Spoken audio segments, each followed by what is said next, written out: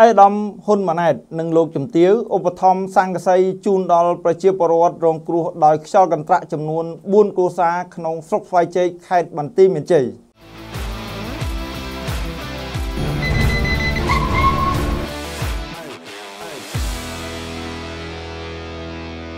នៅថ្ងៃទី1ខែសីហាឆ្នាំ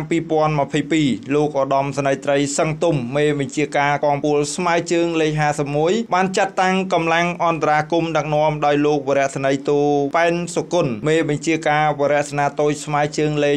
514ដឹកនាំកម្លាំងសរុបចំនួន25នាក់នាំយកសង្កសីដែលជាអំណោយដ៏ថ្លៃថ្លារបស់ឯកឧត្តមហ៊ុនម៉ាណែតនិងលោកជំទាវសហការជាមួយប៉ុស្តិ៍នគរបាលអាជ្ញាធរមូលដ្ឋានចោះជួសជុលផ្ទះជូនប្រជាពលរដ្ឋស្ថិតនៅភូមិម៉ៅឃុំផ្គាំស្រុកស្វាយជ័យខេត្តបន្ទាយមានជ័យសូមបញ្ជាក់ថាហេតុការណ៍ខ្យល់កន្ត្រាក់នេះបានកើតឡើងកាលពីរសៀលថ្ងៃទី31ខែកក្កដាឆ្នាំ2022វេលាម៉ោង